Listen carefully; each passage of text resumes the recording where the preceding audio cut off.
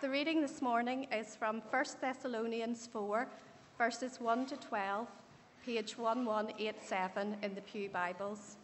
Living to please God. Finally, brothers, we instructed you how to live in order to please God, as in fact you are living. Now we ask you and urge you in the Lord Jesus to do this more and more. For you know what instructions we gave you by the authority of the Lord Jesus. It is God's will that you should be sanctified, that you should avoid sexual immorality, that each of you should learn to control his own body in a way that is holy and honourable, not in passionate lust like the heathen who do not know God, and that in this matter no one should wrong his brother or take advantage of him. The Lord will punish men for all such sins, as we have already told you and warned you. For God did not call us to be impure, but to live a holy life. Therefore, he who rejects this instruction does not reject man, but God who gives you his Holy Spirit. Now, about brotherly love, we do not need to write to you, for you yourselves have been taught by God to love each other. And in fact, you do love all the brothers throughout Macedonia. Yet we urge you, brothers, to do so more and more. Make it your ambition to lead a quiet life, to mind your own business, and to work with your hands, just as we told you, so that your daily life may win the respect of outsiders and so that you will not be dependent on anybody. Amen.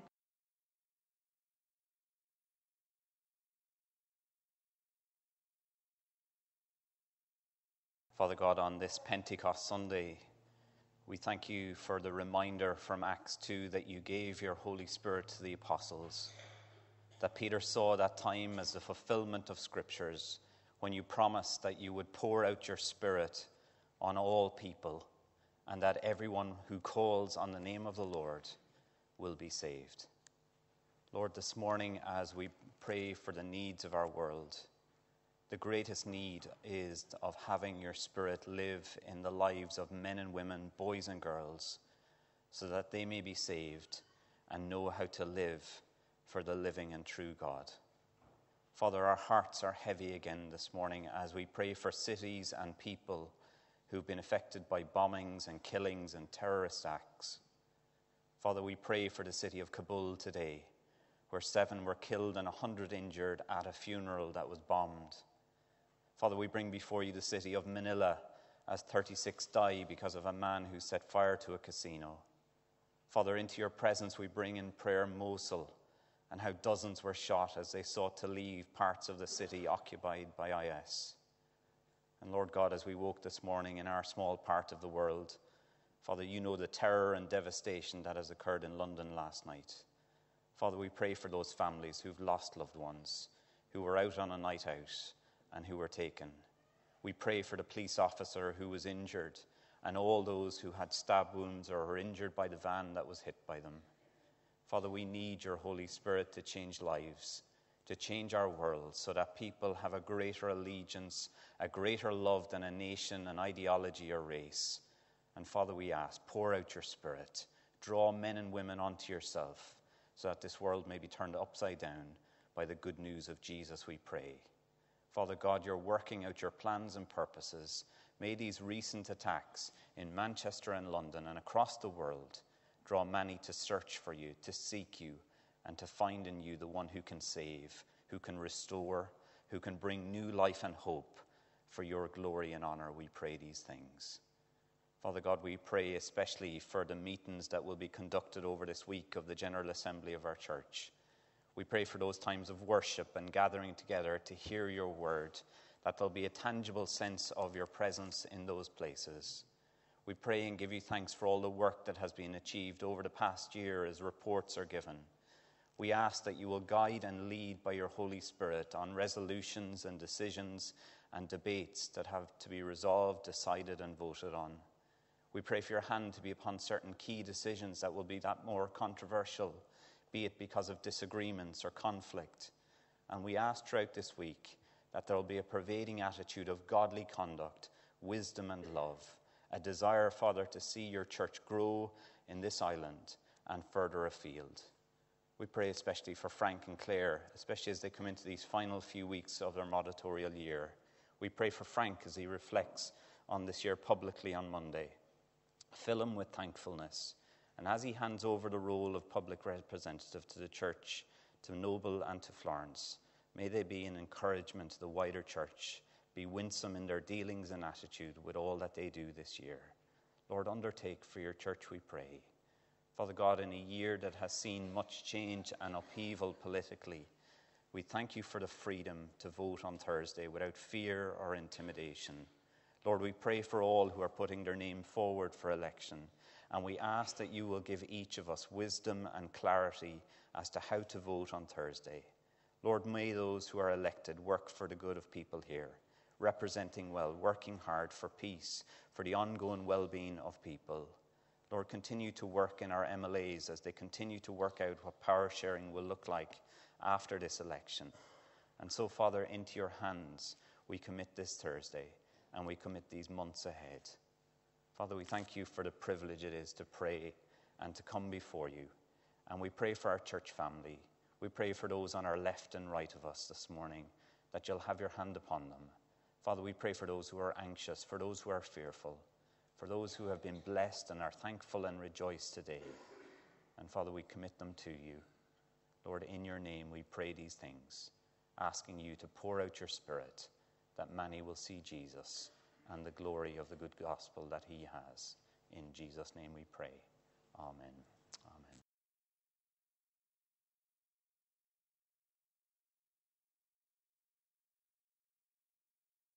Can I encourage you to take a, a Pew Bible and turn to page 1187, where you'll find 1 Thessalonians chapter 4. So, page 1187. And as you're doing that, let me pray for us this morning.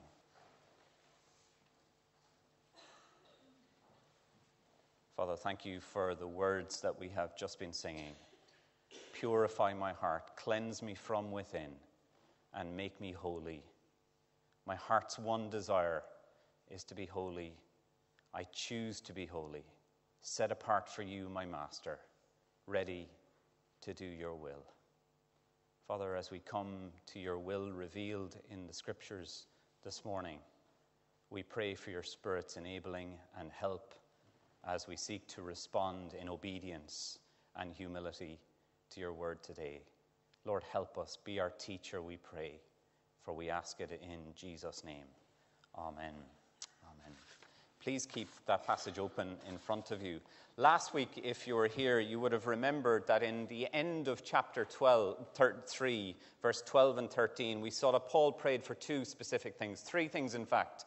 One, that God would make the way clear for him to go back to these Thessalonian Christians.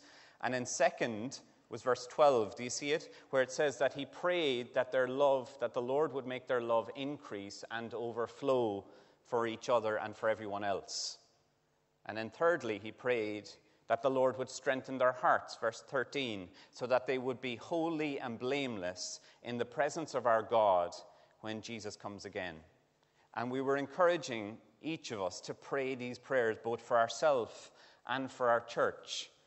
And the question is this this morning what does this look like? What does a life of love which overflows and increases look like practically? What does a holy and blameless life look like in practice? Because it sounds lovely to pray, but in practice, what does it mean? Well, this morning, chapters 4, verses 1 to 12, go a long way in showing us what this looks like in a practical, concrete terms. But I first want to begin chapter 4 by reading a somewhat debatable yet controversial quote from the late John Stott, who said this in, in 1986, in fact, but it's quite relevant today. He said this One of the greatest weaknesses of contemporary evangelical Christianity is our comparative neglect of Christian ethics. What Stott is saying here is that evangelical Christians and the church at large have neglected to speak about Christian ethics. Those are the moral principles that govern your life, that make your lifestyle, that make your choices, and those ethical decisions. It involves Christian morals, Christian behavior, principles, and beliefs. And I wonder is this true? Because it seems to me, even our evening service, that we're focusing on these big doctrines of justification, of faith alone, which are all lovely, aren't they? And they're great doctrines because they impact practically. But I wonder is Stott right that we've neglected Christian ethics, the practical side of things? Maybe we've shied away from neglected teaching on certain issues such as abortion, such as end of life concerns, sexuality, behavior, and conduct.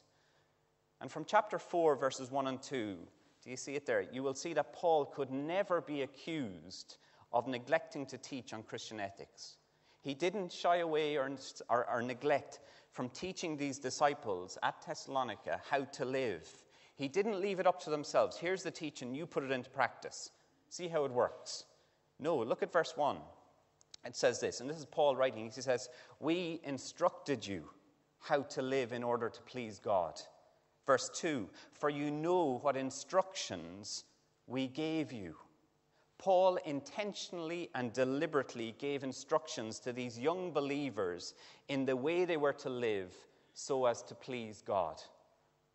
Now, there's a way to please God. So that verse assumes that there is a way of conducting ourselves, a way of living that pleases God.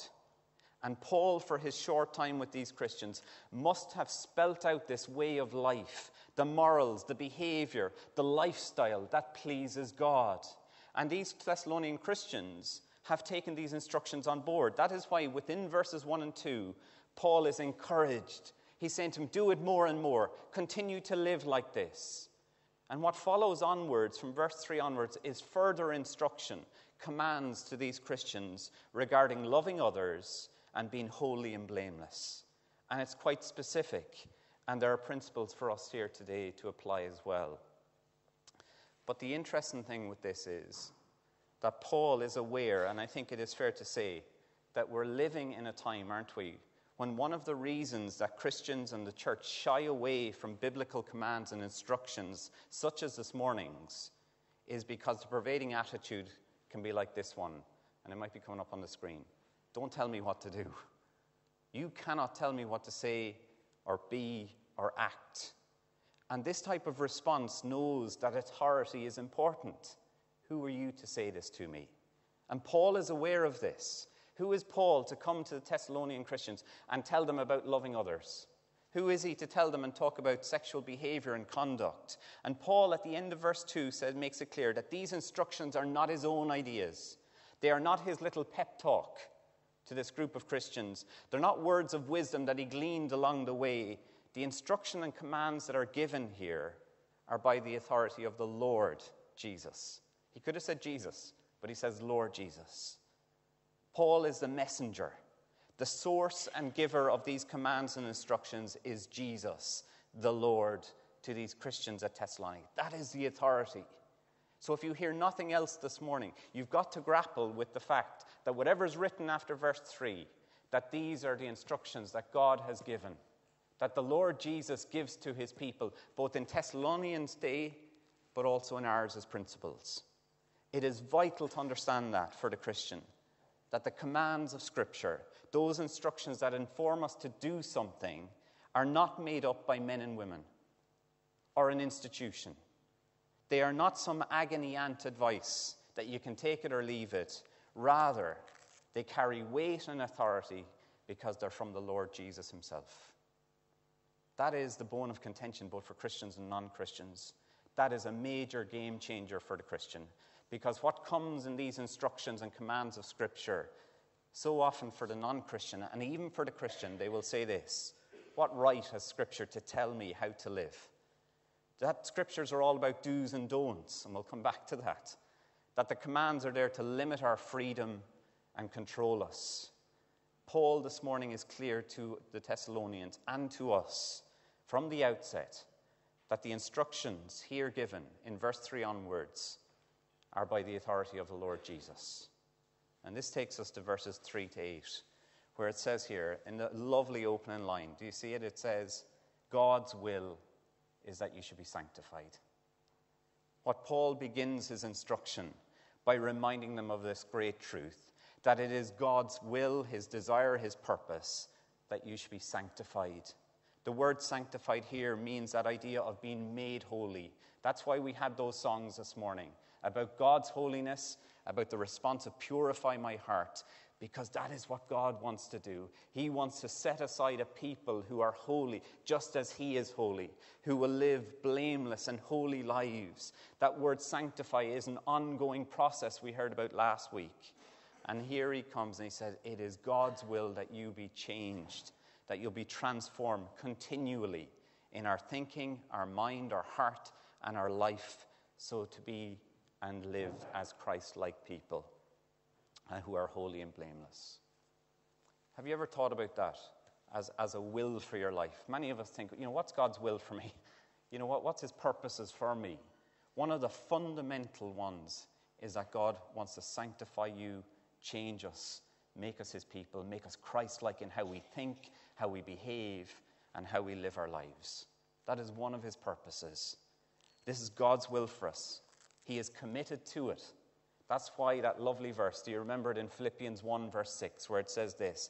Paul says to the church, being confident of this, that he who began a good work in you will carry it on to completion until the day of Christ Jesus. Amen to that.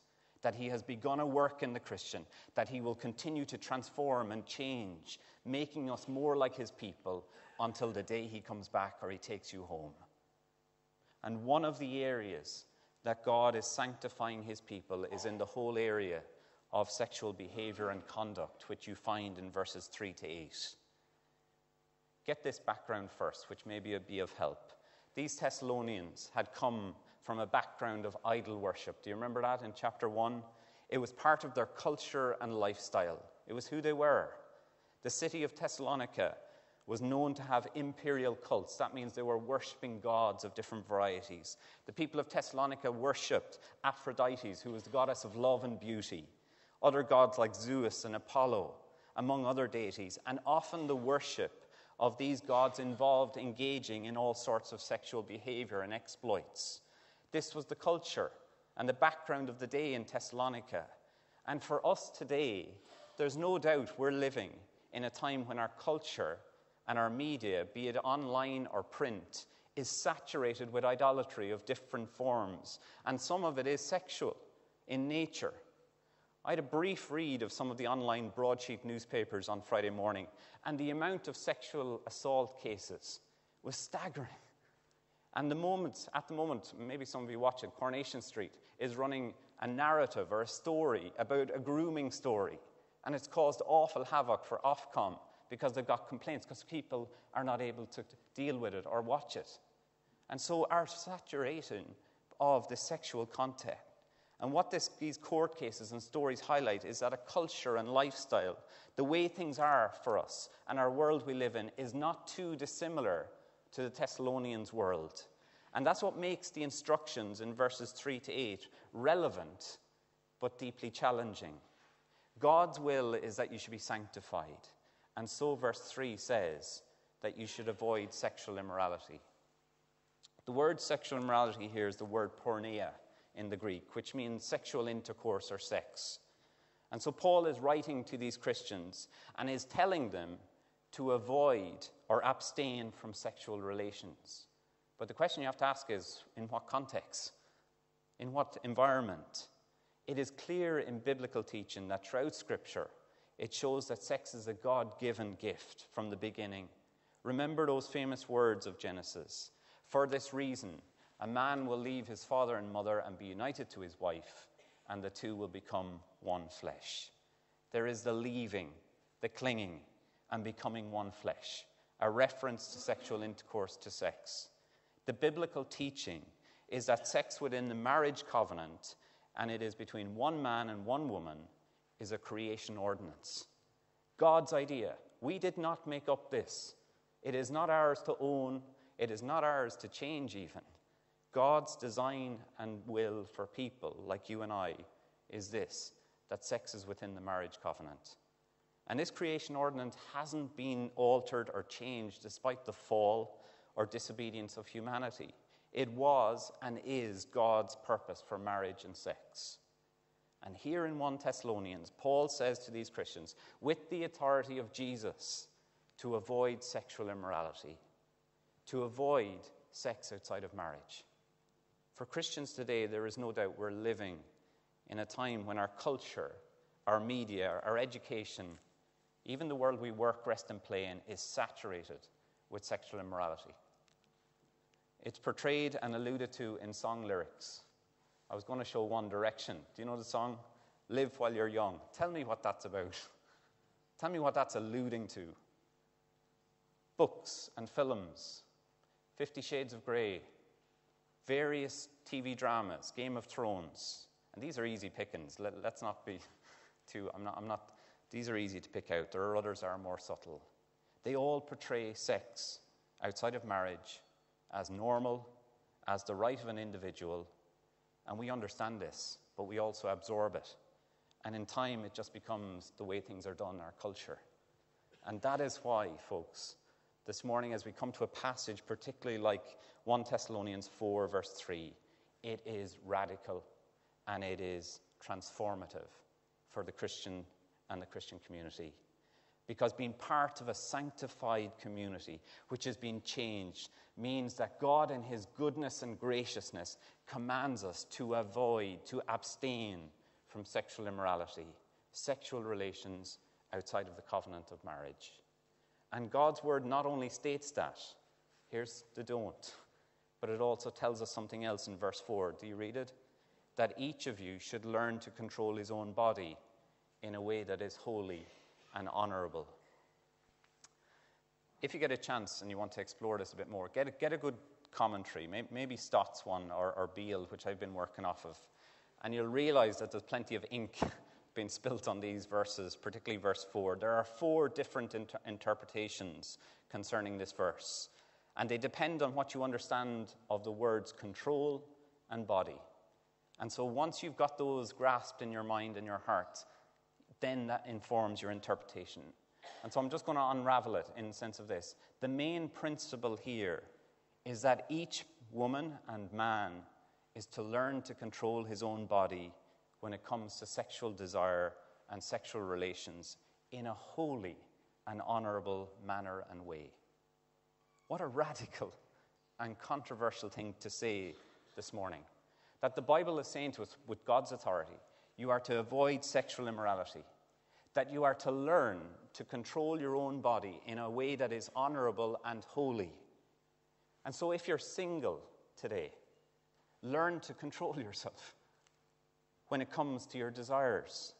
Surely, this implication of this is that you need to learn to control what you do, what you see, what you watch, how you respond when it comes to sexual desires and relationships. It's about learning self control.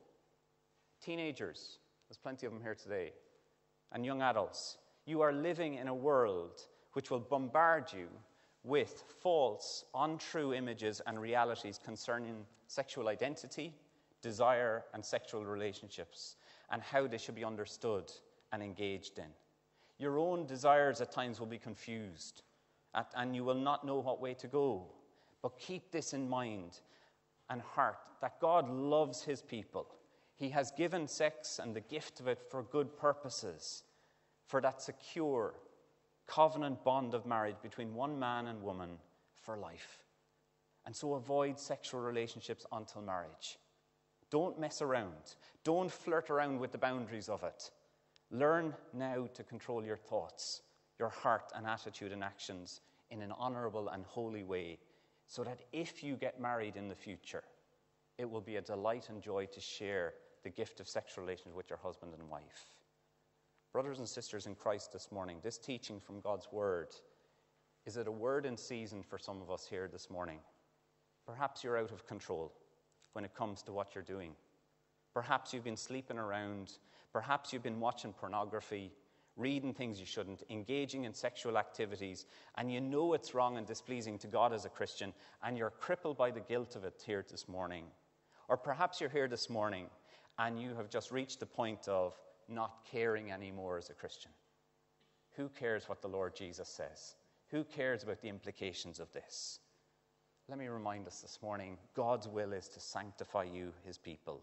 And he says to all this morning to avoid sexual immorality, to learn to control your own body in a way that is honorable and holy. That is what he's asking. And for those of us who are married who might go, I'm not here, this is not for me, there's a challenge here too. That the way we conduct ourselves is to be in a holy and honorable way that is not reserved for those who are not married, but for all of us. John Stott said in, the, in, his commentary, immensely challenging for all who are married or even thinking about getting married. He says this Marriage is not a form of legalized lust, he says. How right he is. That marriage is not a license to have sexual relations at every whim, every desire you have. It's about relationship with your husband and wife. It's about a relationship of love submission to one another out of honor and obedience to Christ. We're in Ephesians 5 territory. And so, why does he say in verse 6 in this matter of sexual relations, we are not to step over certain boundaries or take advantage of a brother or sister in Christ. That goes from outside or inside marriage. The warning is in verse 6, you see it, that each of us will be judged for such sins. God, as it were, will stand up for those who've been taken advantage of. So if you're a husband or a wife and you're cruel and harsh to your husband or wife in this area of your life, read what this warning says. It says that God will judge because it's not holy and honorable to him. This way of life pleases God, and it is in total contrast to the person who doesn't know God. Look why he says, verse 5, that each of you should control his own body in a way that is honorable and holy, not in passionate lust like the heathen who does not know God. You see, for the person who is not a Christian, and you might be here this morning thinking this teaching is madness, this teaching, this sexual desire is natural, and it should not be curtailed or restricted. Maybe you're thinking that.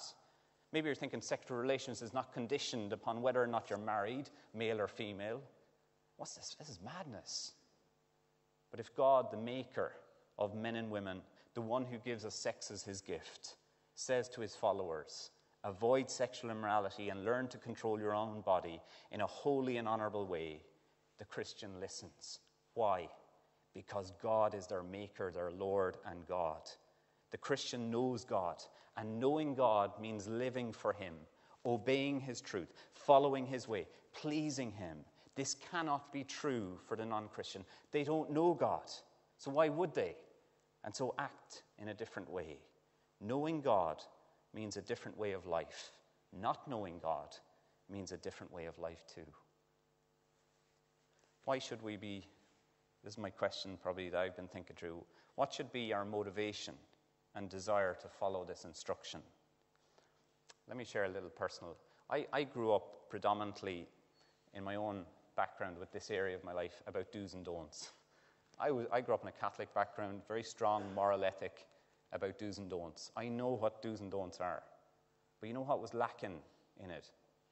A reason for it, a motivation, a factor behind it. Why? You were told, don't do this, do that, don't do this, don't do that. But why? And for the Christian, I, that's the way I grew up with this, not knowing that.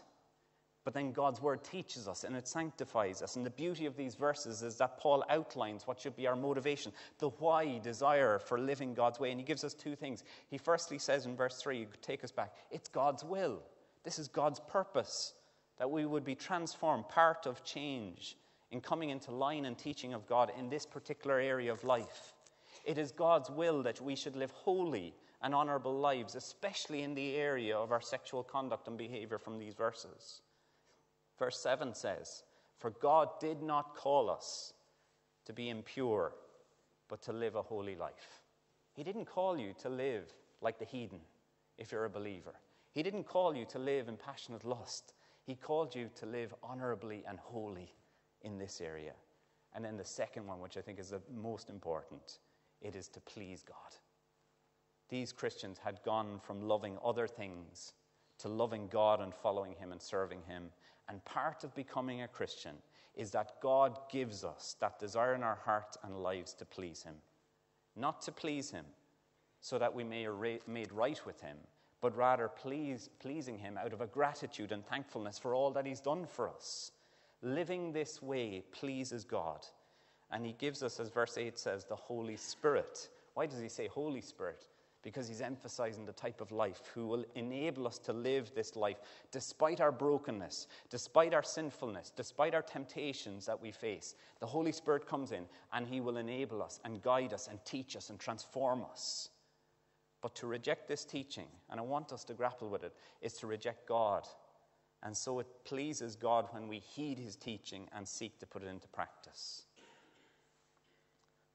Plenty of questions, I'm sure, this morning as we come to this passage.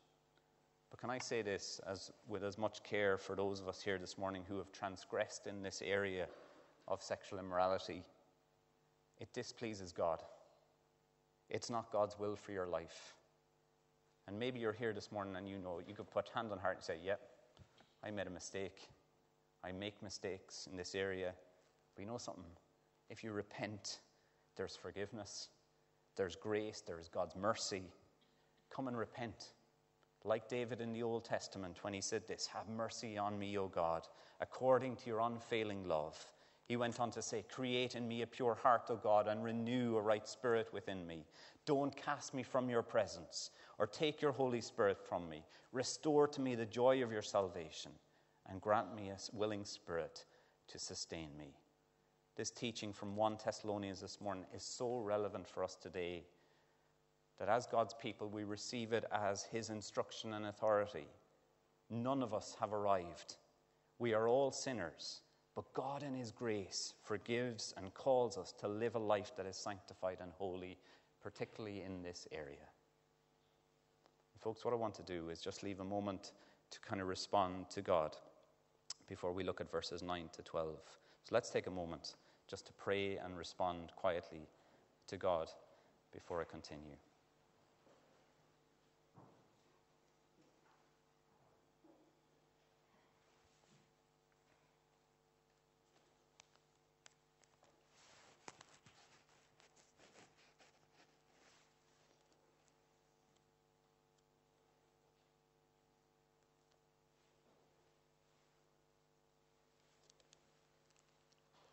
Father, as we come to this passage this morning, we're conscious, Lord, that our culture and even our own lives are trying to rebuff it. That, Father, we're trying to grapple with things here, and Lord, our heart goes against it. And we just pray, Father, that, Lord, we would accept this teaching because it is your will and purposes for your people who know you. Father, for those of us who have fallen in this area of life, we pray for forgiveness. We thank you that in Jesus there is restoration.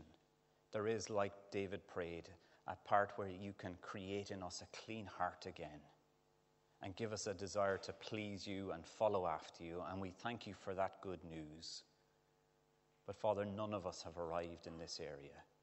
We're in need of your constant transformation of the way that we think the way that we act. And we pray this morning, forgive us. And we pray, Lord, thank you that you are committed to sanctifying your people. And we pray that you will continue to do that within us all here who know you and love you. Lord, help us, we pray, for we ask it in his name. Amen. Amen. And then, lastly, to finish, and this is short, verses 9 to 12 in the whole argument of loving one another, which Paul prayed for, you ask the question what does it look like? Paul returns to the theme of instruction here in verses 9 and 10, and he highlights the fact for these believers. He says, You're loving each other well. Continue to do so. You've been taught by God through his Holy Spirit, and Paul commends them for it in verses 9 and 10. And in so loving others well, Paul goes on and he says them, verse 11 and 12, he gives them specific instructions, three in fact. Make it, your, uh, make it your ambition to lead a quiet life. Mind your own business and work with your hands. What strange things to say to these Christians. And yet there must have been reason for it. And we'll see next week that there was huge concerns about the second coming of Jesus. And for some of the Christians at Thessalonica, they had so believed that Jesus was coming back that they'd given up on work. I wonder this morning if you knew that the Lord was going to come back tomorrow Monday. Hands up if you'd go to work. Hands up if you'd say to yourself, Look, I'm out on the deck chair today. I'd give it up. And that's what happened here. They were so convinced, which is lovely, that the Lord would return, that they said to themselves, What do I need to work for? And I guess if you truly believe it, that's what you might do. And what happened was these folk became idle, as chapter 5, verse 14 tells us. And we urge you, brothers, warn those who are idle. They'd become idle. And being idle brings its own issues, doesn't it? And so Paul writes to them, telling them literally, lead a quiet life. Make it your ambition to have no ambition with regards to your life, obscurity. Don't draw attention to yourself. Lead a quiet life. Folks, most of us are bought into the fact that our life has to be special. No, it doesn't. Live a quiet life. Get on with the work that you've been called to do. You're not something special. You're just an ordinary Joe Soap like the rest of us. And Paul says, lead a quiet life. And then he says to them, mind your own business. The idleness must have meant that they were gossiping, busy about other people's business. And he says, mind your own business. And then he says, work with your hand. And Paul sees two outcomes from this way of life. He says, firstly, that you'll gain the respect of the outsider and that you won't be dependent on anyone else. Loving others by looking after yourself. Not, in, not dependent, but independent. These three principles are as relevant for us today as they were back then to lead a quiet life, mind your own affairs, and work. And now, for some of us, it's not possible because of factors of health or dependence or illness. But generally, if you can work, work. And this way of life may win the respect of the outsider, and you won't be dependent on anyone. God's will is that we should be sanctified, and so live a life that pleases God. These instructions and commands this morning are practical, they're relevant and challenging when it comes to our daily living out of our lives. But be encouraged. It is God's will that we be holy and blameless, and with the help of the Holy Spirit, the Holy Scriptures, God's holy people, and the Lord Jesus, He is calling us to live holy, blameless lives that love others well. Let's pray.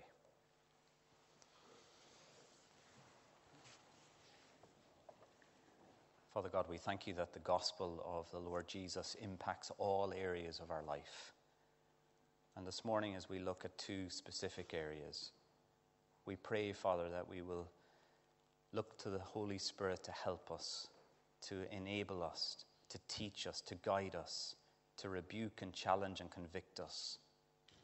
And Lord, we thank you for just the encouragement that this is your will for our lives, that you're committed to transforming a people who are holy and blameless in your sight.